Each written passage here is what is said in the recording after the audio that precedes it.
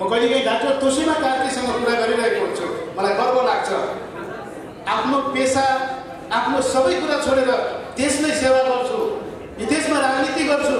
म स्वास्थ्य मन्त्री नै हुन्छु भनेर राजनीति गरेको भनेर उहाँले एक दिन भन्दाखेरि मेरो छाती गर्वले फुलेको थियो। विशेष गरी पार्टी सभापतिमाथि चौतर्फी आक्रमण छ। तर हामीलाई रक्कीभर पनि डर छैन। किनभने ती सबै आक्रमण जनताको बर्दरामा आएपछि निस्तेज हुनेछन् जनताले दिने विशेष गरी दुई हजार सत्तालिस साल यताको नेपालको राजनीतिमा भ्रष्टाचारको मुद्दा सबैभन्दा सदन सबैभन्दा बलियो र सबै नेपालीले चर्चा गर्ने गरी बाहिर आएको छ त्यो बाहिर ल्याउने यदि तपाईँले गम्भीर भएर सोच्नुहुन्छ भने त्यो बाहिर ल्याउने काम पनि राष्ट्रिय स्वतन्त्र पार्टीले गरेको टेलिभिजनको पर्दाबाट कराउँदा कराउँदा अब हुँदैन भन्ने लागेपछि जनताको सामु आएर जनताको माझमा रवि लामे छाने कराएको कारणले आज नेपालको भ्रष्टाचार यो हदसम्म आएको छ हुँदैन कृपया नेपाली काङ्ग्रेसका साथीहरू नेकपा एमालेका साथीहरू नेकपा माओवादीका साथीहरू भ्रष्टाचारीहरूलाई कारवाही गर्नुहोस्। भ्रष्टाचारीहरूलाई दया माया नगर्नुहोस् नबचाउनुहोस् त्यसो गर्नुभयो भने तपाईँहरू हामीभन्दा अलिक हुन सक्नुहोला।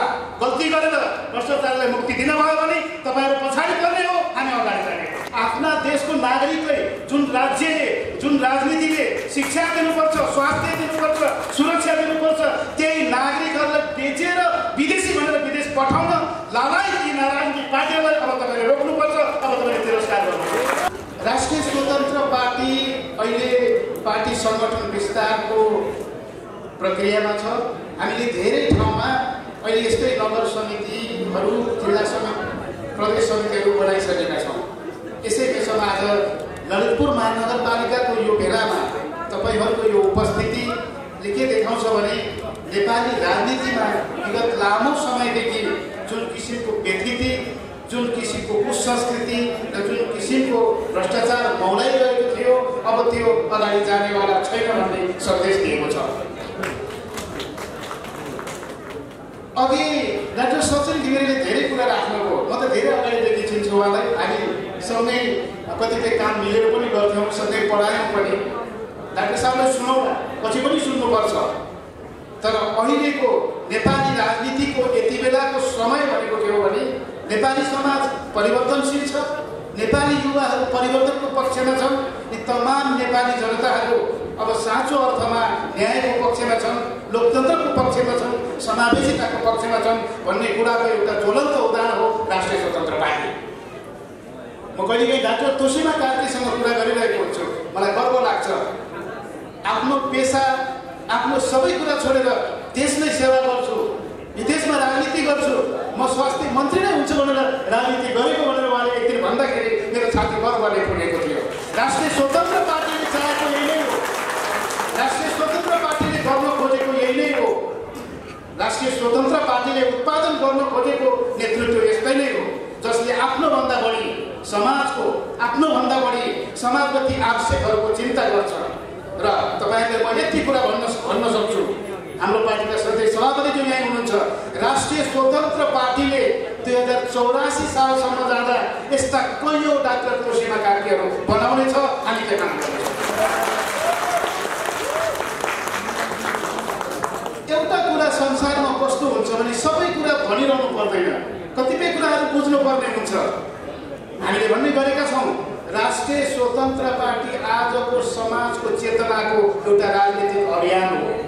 यो आजको समाजको चेतनाको राजनीतिक अभियान भनिरहँदाखेरि भन्न खोजेको कुरा के हो भने हामी न्यायको पक्षधर हो। हामी समानताको पक्षधर हो। हामी ती उत्पीडितहरूको पक्ष पक्षधर हो। हामी त्यस्तो राज्य बनाउन चाहन्छौँ जुन राज्यले राज्यमा कमजोरहरूले सबैभन्दा सुरक्षित भएको महसुस गरौँ यसर्थ राष्ट्रिय स्वतन्त्र पार्टीको सिद्धान्त के हो? राष्ट्रिय स्वतन्त्र पार्टीको विचार के हो? भन्नेहरूलाई छ प्रश्न गर्न पाइन्छ। त्यो राम्रो प्रश्न पनि हो। त्यो गर्न जाहेर पनि छ। कमसेकम हाम्रा पार्टीका सधैँ सभापति म लगायत हाम्रा साथीहरूले संसदमा राखेका विचारहरू फुर्सदमा मिलाएर हेरिदिनु होला। हामी कसको आवाज उठाइरहेका छौँ? हामी कस्ता विचार प्रदान गरिरहेका छौँ? र हामी के बोलिरहेका छौँ? एउटा समयको कुरा हो। यहाँ पचासौँ वर्षदेखि राजनीति गर्ने पार्टीहरू आज पनि विचार मन्थन गरेर एक ठाउँमा पुग्न सकेका छैनौँ।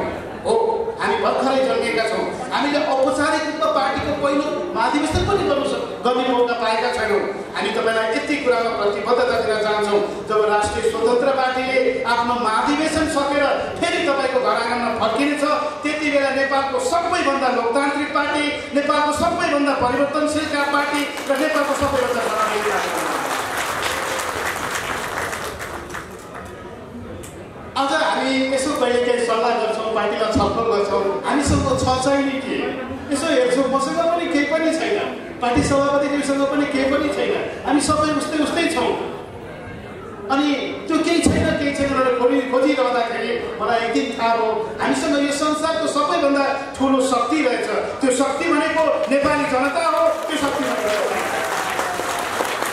हामीसँग सरकार छैन हामी कुनै अरू रा- अन्य राजनीतिक पार्टीले जस्ता सरकारी संरचनाहरूमा आफ्नो मान्छेहरू राखेका छैनौँ हाम्रो पार्टी सभापतिले गृह मन्त्रालय चलाउँदाखेरि नेपालको इतिहासमा पहिलोपल्ट विशेष गरी नेपाल प्रहरीको सरुवाबाट हुँदाखेरि एक एउटा पनि भनसुन नगरिकन एक रुपियाँ कतै चर्चा नगरिकन सरुवाबाट बढुवा भएको यो इतिहासको पहिलो घटना हो छैन।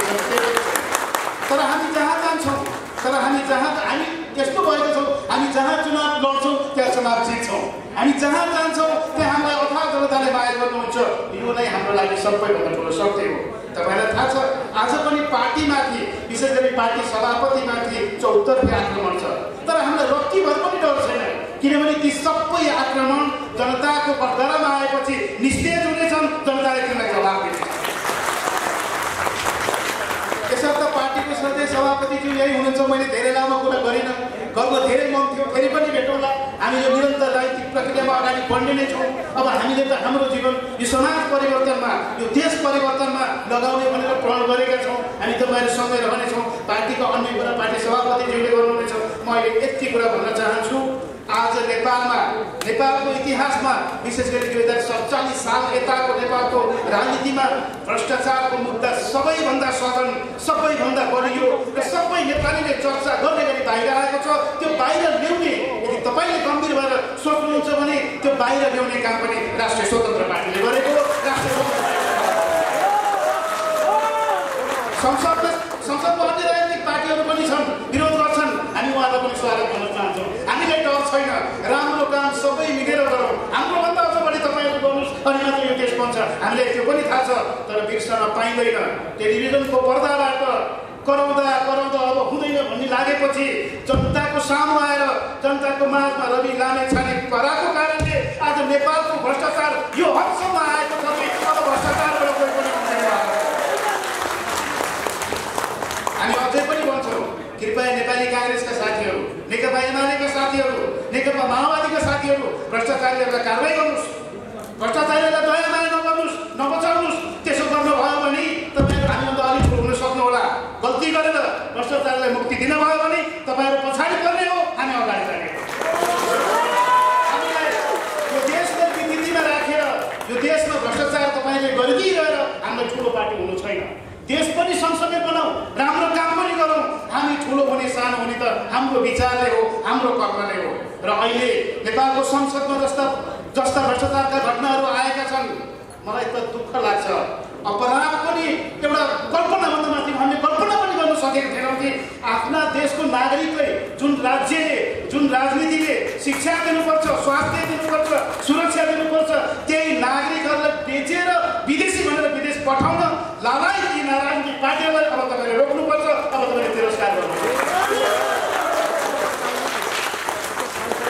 आदरणीय उपस्थित आमाबा दाजुभाइ तथा दिदीबहिनीहरू तपाईँहरू पार्टी महानगर भेलामा हुनुहुन्छ महानगर महानगरमा एउटा समिति बनाउँदै हुनुहुन्छ। हामी असाध्यै आशावादी छौँ। नेपालको राजनीतिक इतिहासमा भक्तपुर ललितपुर र कान्तिपुरको ठुलो योगदान छ। खास खास समयमा खास खास बेलामा राजनीतिक परिवर्तन हुने बेलामा ललितपुर भक्तपुर कान्तिपुरले ठुलो भूमिका खेलेको छ।